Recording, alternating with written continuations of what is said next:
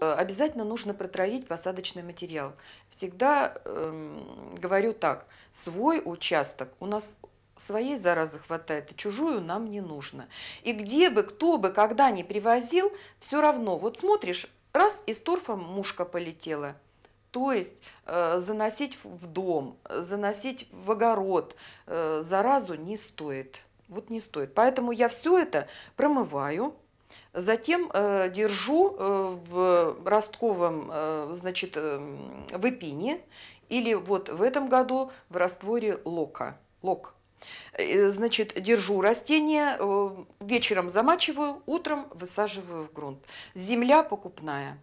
Земля покупная, мешаю иногда со своей. Ну, в зависимости от того, сколько нужно земли. Вот, допустим, в этот профессиональный горшочек сюда земли нужно много. Посажена гипсофила. Как гипсофила вообще очень плохо переносит э, посадку и пересадку, Поэтому корневище обязательно должно напитаться влагой раз, но не переборщить. То есть более там, 8-12 часов держать нельзя, я так думаю.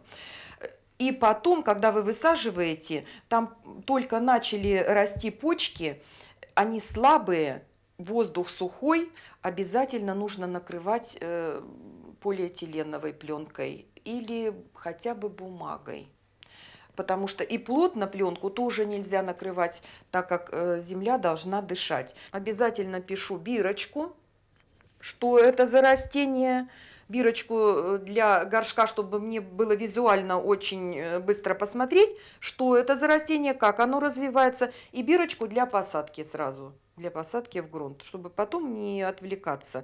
Растение было очень изогнуто, но вот уже начинается выпрямляться. Прямо было вот э, к земле лежали корни. На солнышке поворачиваю горшки несколько раз в день.